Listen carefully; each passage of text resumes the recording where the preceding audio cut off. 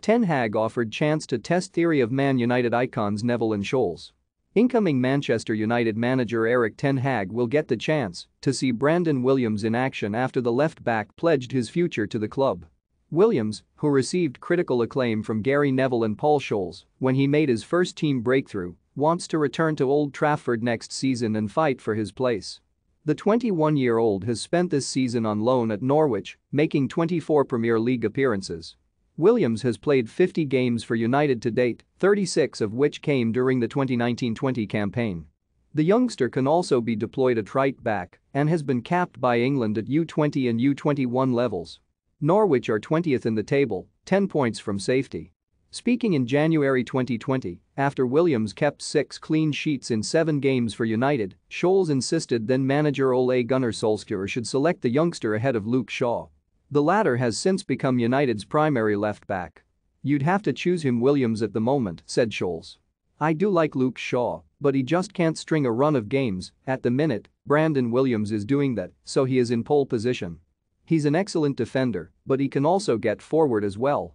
He's got quality, he's a talented lad, and he'll get up and down the pitch. He's got two good feet, I think he's more of a right-footed left back which is strange.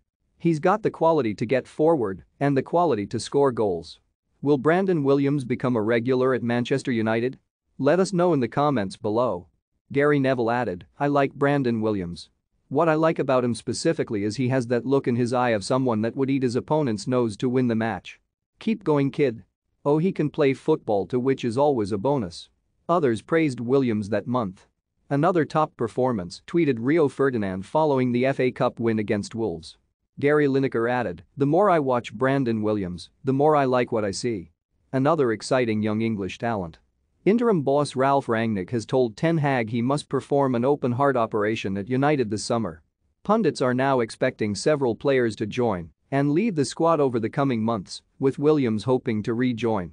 Paul Pogba, Jesse Lingard, Juan Mata and Edinson Cavani are among the players expected to quit Old Trafford when their respective deals expire in June. Phil Jones, Nemanja Matic, Aaron Wan-Bissaka and Dean Henderson are also tipped to leave. United have endured a tricky season. They're sixth in the Premier League, six points behind Arsenal in fourth, having played a game more. They also failed to challenge in the EFL Cup, FA Cup and Champions League, meaning they've not won a trophy since 2017. What I want to do next year is play for Man United at left back, and that's my job, said Williams. That's what I'm determined to do, because it's my life and I'll do anything for that. I know I can play in this league, and I know I can get to the top.